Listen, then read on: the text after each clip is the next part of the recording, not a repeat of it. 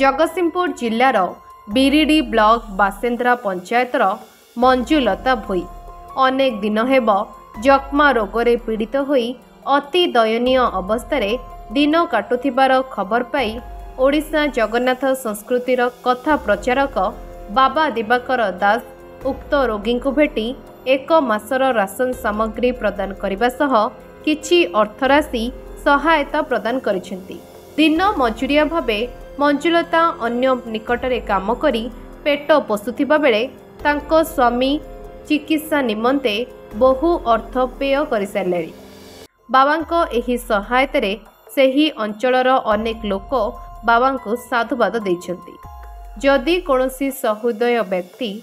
ମଞ୍ଜୁଲତାଙ୍କୁ ସାହାଯ୍ୟ କରିବାକୁ ଚାହୁଁଛନ୍ତି ତେବେ ତାଙ୍କ ସହ ଯୋଗାଯୋଗ କରି ସହାୟତାର ହାତ ବଢ଼ାଇ ପାରିବେ। ତାଙ୍କ ସହ ଯୋଗାଯୋଗ କରିବାର ନମ୍ବର ହେଉଛି ସାତ ଆଠ ନଅ ଚାରି ଆଠ ଦୁଇ ସାତ ପାଞ୍ଚ ଦୁଇ ଏକ ବ୍ୟୁରୋ ରିପୋର୍ଟ ଡିଟିଭି ଓଡ଼ିଆ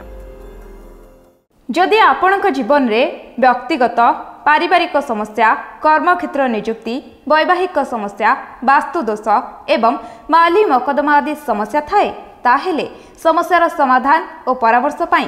ଆମକୁ ଯୋଗାଯୋଗ କରନ୍ତୁ ଜ୍ୟୋତିର୍ବିଦ doctor Bhabani Shankar Mahapatra Budheswari colony plot number twenty six Bhubaneswar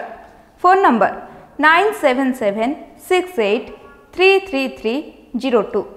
nine four three nine four four four nine two four ଆମର website W W W dot Shri Jagannath astro dot com DTV Odia ଦେଖିବା ପାଇଁ subscribe କରନ୍ତୁ